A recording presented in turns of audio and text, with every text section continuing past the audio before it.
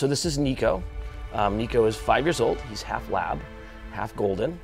He was purchased by the New Hampshire ICAC Task Force as a tool and then assigned to me in May of 2020 where uh, we've been partners the entire time since then. He can find any device that stores or transmits data. That's big. So if he can find it for them and they can search it and we can bring a guy to justice and help get justice for a child, that's the win. We want to find everything we can, get it to the hands of the digital forensics people and let them work their magic. So I am Deputy Matt Fleming.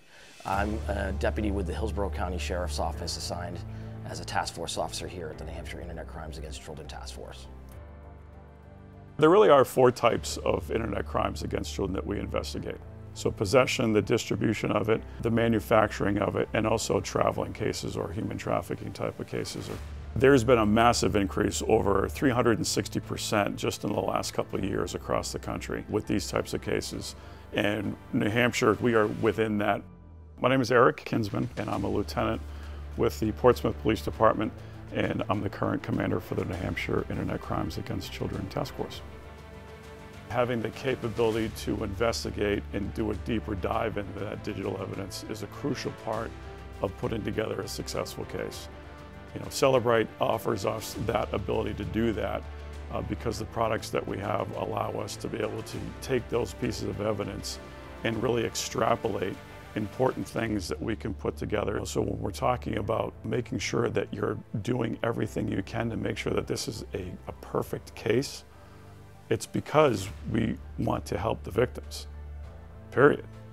We definitely make community education a, a, high priority for us. It's a way in which we can be proactive. We completely revamped our middle school and high school presentations. There's been times where after a presentation, students have come up to us saying, that happened to me. And they felt empowered to come to us, say that happened to me.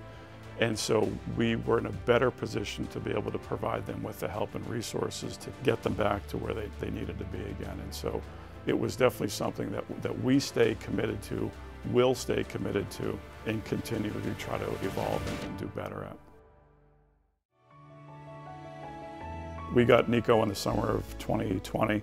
He's been involved in over 250 warrants since we've had him, and he's made an impact at every single one in some way, shape, or form.